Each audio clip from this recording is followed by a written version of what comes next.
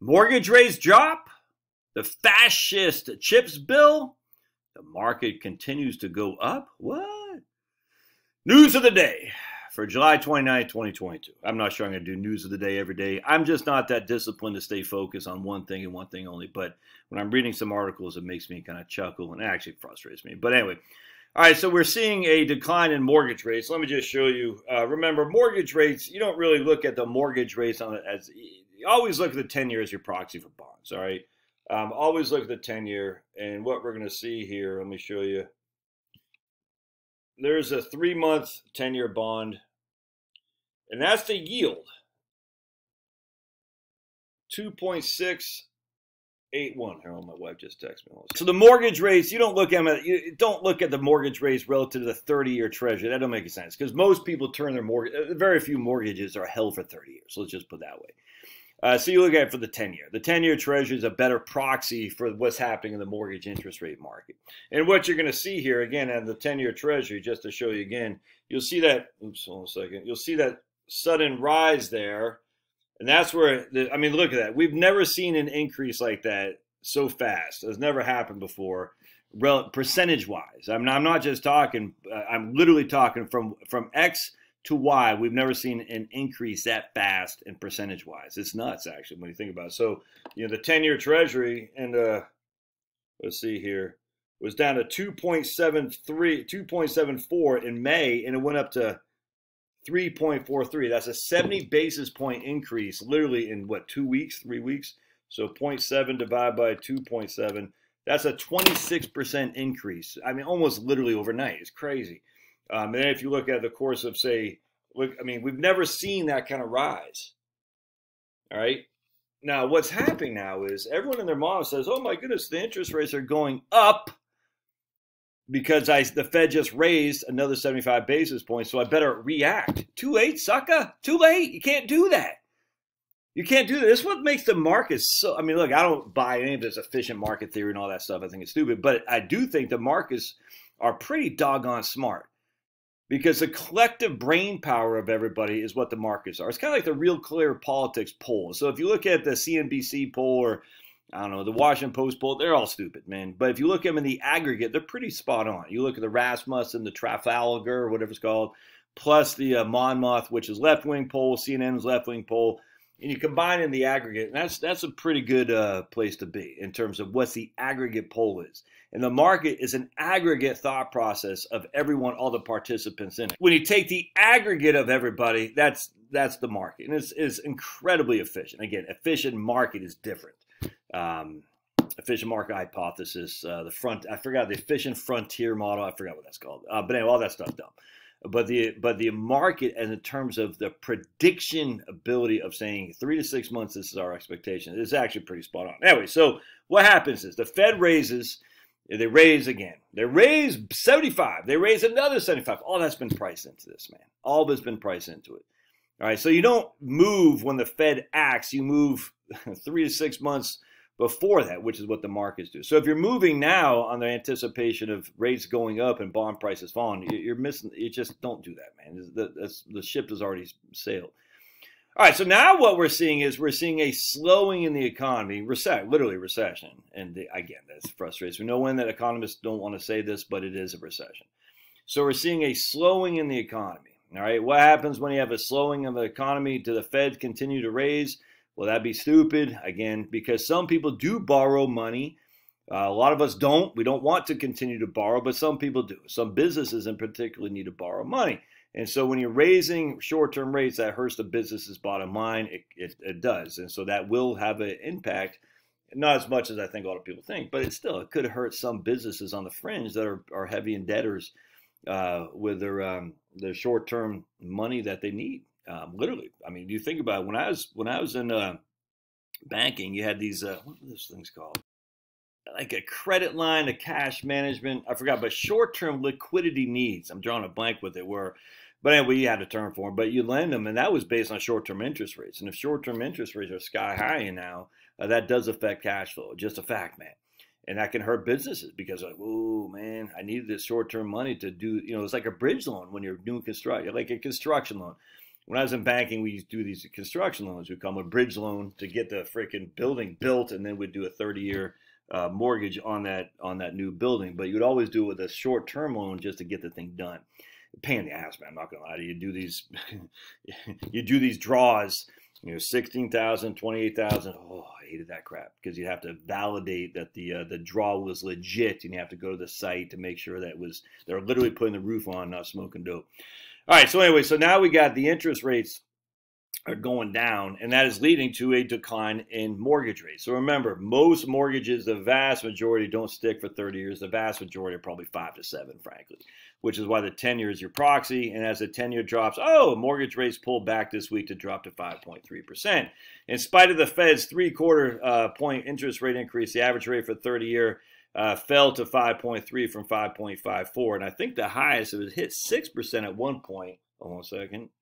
So we're seeing a, a, pretty significant pullback in mortgage rates, and uh, will that continue? Probably not so much. Uh, I wouldn't. I mean, I think you probably see mortgage rates below five on a thirty-year fixed within the year, but uh, eh, probably not much lower than that. But I mean, I could be wrong there. Anyway, the likelihood of interest rates going up are pretty low. Uh, but anything could happen. Anyway, point being is th- this is not indicative of a, uh, a bubble because people are being priced out of the market like on the real estate side, like everyone's saying, oh my goodness, people are being priced out of the market. They can't afford it. Another thing with mortgage rates, you always got to remember points, a 15 year versus a 30, an arm, and all that. So you can't just look at the proxy of the 30 year and say, well, what does that mean? You got to just look a little bit deeper. Either way, I don't. I mean, you can look at mortgage rates, but I just look at the 10 year treasury. The 10 year treasury is always the proxy for interest rates. And again, that is the 10 year treasury. All right, so it's shrinking, and I imagine it'll probably continue to shrink a little bit. I I, I don't think we're going to go back to where we were, uh, you know, one and a half. That I don't I don't see that happening. But uh, but anything could happen, man. I mean, my goodness. Um, all right, so now we got it. Let's talk. So the point being, don't just if you're if you're moving based on actions that people are doing today, you're being Jerome Powell, Sniffy Joe. I don't care. You're too late, man. You move you just you're too late. I cannot stress this enough. Don't do that. Don't move frankly. When i say move it you know re, uh, you know configure your portfolio and all that just don't do that. Like i had my lady email me the other day kind of in a somewhat of a panic. Should we do something? I'm like you're no no. Don't do something now. Wait because the, the pain has already happened if that makes sense i mean just think about it what has the market done I, I just oh man it just it it pains me then that people don't get this. And it's okay for you not to get this. That's why you're here for me to tell you how this works. I'm not saying I don't have a freaking, you know, I'm not a scientist. Scientist, hell, who scientist? Whoa, I'm not. You know, I, I don't know anything. What I'm just saying is, this is what people were doing. They were selling.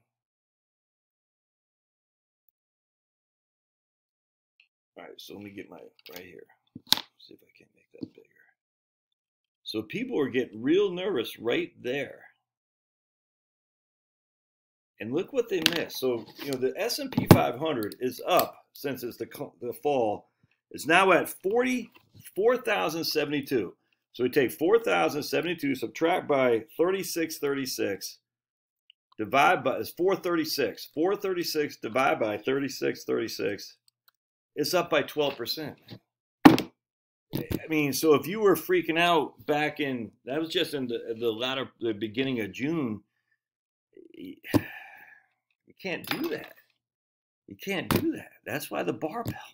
All right. Anyway, so now we got. Um, I want to talk about the fascist, uh, the chips thing. This freaking ticks me off. I'm not gonna lie to you. This really, it's just the same story every time, and it's it, Republicans and Democrats. It matters not. How many Republicans jumped on board with this too? I don't know.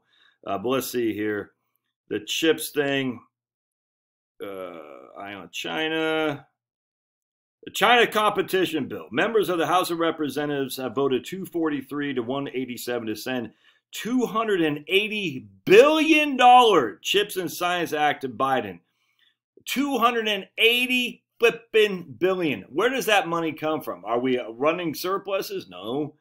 The bill. So, do you literally think we're ever going to pay off the debt in the United States government? You're not. We're not gonna, man. It's not going to happen. So, stop with this idea that we got to pay off debt. It's not. It's, not, it's just. It's not going to happen. We have deficits as far as the eye can see, which already add to the debt we've already accumulated. Are we recording? Okay, good. All right. The bill, which aims to make the U.S. more competitive with China, will provide 52 billion in subsidies for domestic chip makers and more than 100 billion in tech and science investments. So let me ask you a question: Why is this fascist? If you're a tinkerer in your garage, how do you get access to that money? Oh, how you got to hire a freaking team of accountants and attorneys and people who bankers who know how to have access to it. You can't just go to the friggin' Department of uh, Energy or whatever the hell, Department of Commerce, and say, "Hey, I'm a tinker, a chip maker. Can you uh, send me a check for, you know, two hundred thousand bucks?" It doesn't work like that. In fact, I was watching me and Liam and my his two sons were watching an episode of The Office the other day, and uh, it was in 2008 or nine where they're talking about uh, if you hire a convict, you get some money from the federal government. And it's funny. It's such a funny episode is a black guy as a convict, and Michael, you know, Michael Scott's like, why does it have to be the black guy? It's just funny as hell. Anyway, point being is uh, Jan, who's Michael's boss, uh, said, "Hey, this is great work, not by Michael, but one of Michael's competitors in a branch." He says he was able to fill the paperwork to get a, a check from the government for us to hire a convict. And I was like, "This is just." So how does a tinkerer, an entrepreneur in his garage, as FDR, not FDR, as Eisenhower talked about, how does he get access to that money? Oh, it's too bad, so sad. You got to hire a team of accountants and attorneys and bankers. So who gets the money? Intel. Oh, lo and behold, and literally in the same thing, the same email from Alpha, Seeking Alpha, Intel cuts spending near term as chip giant sees PC weakness how much cash does freaking Intel have? Let's take a look, shall we? Well, according to macro trends, they have $38 billion of cash money. $38 billion of cash. How much are they going to get from the chips bill? I bet Intel stocks freaking, I bet the futures are up on Intel stock. Maybe that was yesterday. Let's take a look what Intel stock did yesterday. INT, the whole thing's so freaking corrupt, man. INTC, let's take a gander. Man, I, my the more I wear my reading glasses, the more I need to wear them. It's almost like they uh, do that deliberately. Oh, let's see. Intel, well, oh yeah, it was up yesterday. Was it up big time? Oh no, it wasn't up yesterday. It was down 47 cents. Mm, that's crazy. But oh, but look at this. It dropped. You see a big drop right there, and then it came up. I'm sure that's when Sniffy Joe signed it. Yeah, amazing. All right. So there you go, my friends. There you go. Good times had by all. Frustrating no win. Economists don't want to call it a recession because it's not a recession until the NBER. This is what their their argument is. Well, we can't have a recession if we have jobs that are low. The whole thing just freaking infuriates me. Um, what else? We got the chips bill. Oh, let's just read what Eisenhower said. Hold on a second. I'm actually the biggest fan of Eisenhower. I like how he sent uh, people to uh, protect uh, little black people, little black girls in particularly, uh, back children from going to schools in Arkansas. That that's the right move. Um, but I'm not the biggest fan on on Eisenhower as a president. That's for doggone sure. But that was that was a good move to protect kids who were uh, being ab- for, uh, abused, and the state wasn't doing anything about it. You can't have your civil rights abused, man. And if you do, then the state needs to step in. That's just a fact. Uh, the government, the feds need to step in. If the state is abusing you, you need the federal government to step in. All right, so here's Eisenhower. All right, akin and largely responsible for the sweeping changes in our industrial military posture. Ah, ding, ding, ding, military, military industrial complex. And there it is. In the councils of government, we must guard against the acquisition of unwarranted influence, whether sought or unsought by the military industrial complex. Could the whole nuclear arms race, hmm, could that have anything to do with the military industrial complex? Have you ever thought, what if that was all you ever thought about that? What if it's all fake? What if the nuclear race was just to scare you to send all kinds of money to perpetuate the military industrial complex? Because it's done great, has it not? It's done great to put people in fear and to spend a hell of a lot of money on defense. Defense, as we're bombing Libya, Somalia. Hmm. I'm just thinking out loud here. What if this was all fake?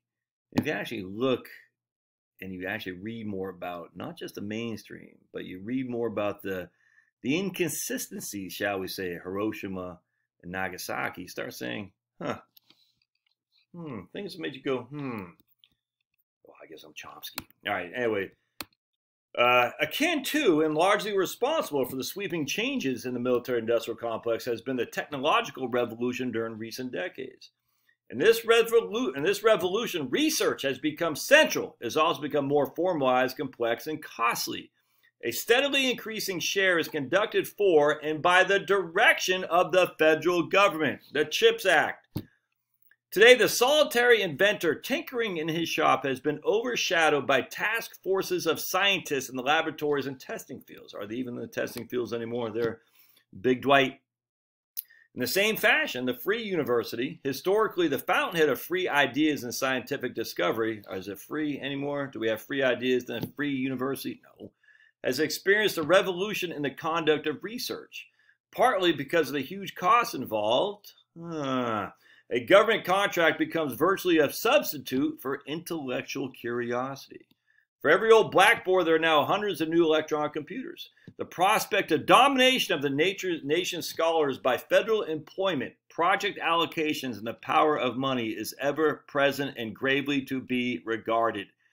Yet, in holding scientific re research and discovery and respect, we should and must be alert to the equal and opposite danger that public policy be, could become the captive of a scientific technological elite and it is a task of statesmanship to mold, to balance, and, and, and integrate, integrate these and other forces, new and old, within the principles of our democratic system, ever aiming towards the new supreme, the supreme goals of our free society.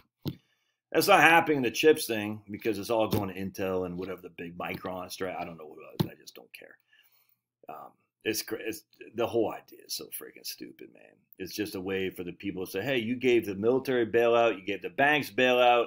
You gave the airlines bailouts. Now we want our bailouts. It's just it's it's one oh one. All right, love your thoughts. We'll see you